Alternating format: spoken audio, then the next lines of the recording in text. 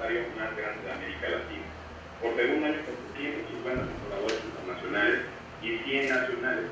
Pasado también contaremos con la presencia de 26 de Japón, China, Corea, en el caso de Ensenada, Ensenada de Coahuila, obviamente motos productoras como Barilla, de trigo duro, trigo de parte de Europa, tenemos Ecuador, España, Francia. Cansada venir viendo la importancia que tiene el que no solamente unidades esfuerzo, que sus productos, las limitaciones en disponibilidad de recursos no les, no les permite estar en otros espacios, en otros anaqueles, en otros mercados del mundo. Los organismos en miel.